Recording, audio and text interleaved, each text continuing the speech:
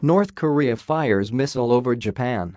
Civilians were told to take shelter following Pyongyang's latest test launch. North Korea has fired a ballistic missile over Japan for the first time since 2017, officials in Tokyo have claimed. The reported incident follows a flurry of similar launches in recent months.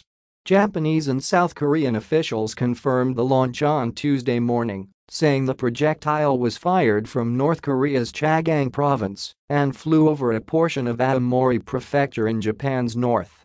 A short while ago, North Korea launched a ballistic missile that flew over Japan and is believed to have landed in the Pacific Ocean, Prime Minister Fumio Kishida's office said in a statement adding this is an outrageous act following the recent repeated ballistic missile launches, and I strongly condemn it.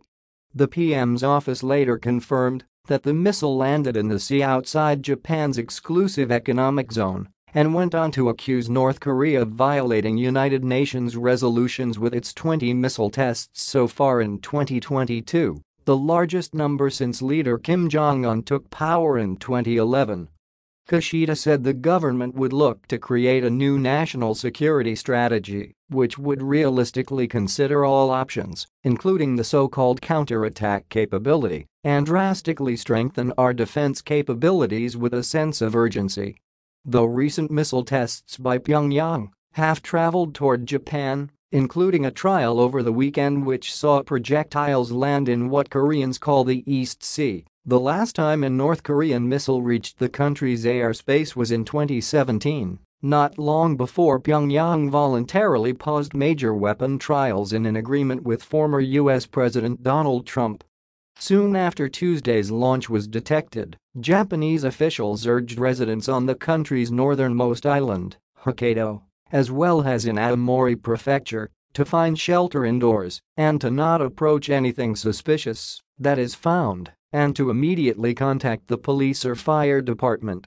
In response, Tokyo said it would adopt the necessary posture to prevent similar unforeseen situations in the future, but did not offer details.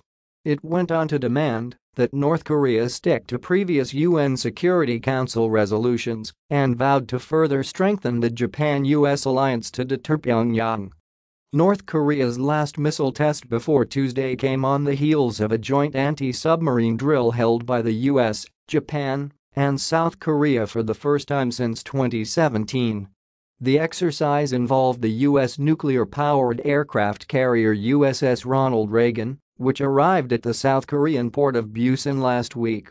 Pyongyang has stated in the past that it considers such drills to be a threat to its national security, seeing them as a rehearsal for an invasion.